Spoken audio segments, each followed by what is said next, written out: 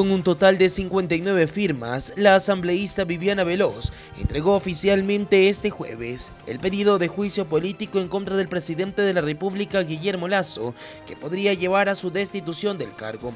La causal escogida por los legisladores fue la segunda, en la previa de la Constitución, es decir, por delito de concusión, cohecho, peculado o enriquecimiento ilícito, mejor conocido como delitos contra la administración pública. Constitucional tendrá que analizar esto y hemos tenido el cuidado de que no pueda la Corte eh, evadir ese dictamen de admisibilidad que tiene que eh, dar. El pedido de juicio político se presentó con 59 firmas de respaldo, aunque solo se necesitaban 46. Las firmas de respaldo provienen del correísmo, de Partido Social Cristiano, de la Izquierda Democrática y de Pachacuti. Viviana Veloz se mostró optimista y aseguró que hay 92 votos para que el juicio político supere el filtro que la Corte Constitucional. Ha adecuado su conducta para proteger los vínculos de una estructura criminal en las empresas públicas.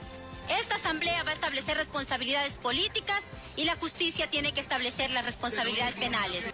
Y es que los desacuerdos también se hacen notar por parte del oficialismo en que no existe ninguna causal que pueda determinar el juicio y que conlleve a la destitución del primer mandatario. Es otro paso dentro del proceso de desestabilización porque ahora vuelven con un cuento y una fábula que ya vamos a conocer en los próximos días cuál es el nuevo capítulo.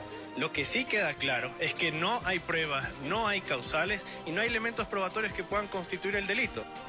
El pedido de juicio político tiene 55 páginas, en las que se refiere a las acciones de la solicitud que señala que el presidente de la República, Guillermo Lazo, fue partícipe de una estructura de corrupción para la obtención de beneficios propios y de terceros.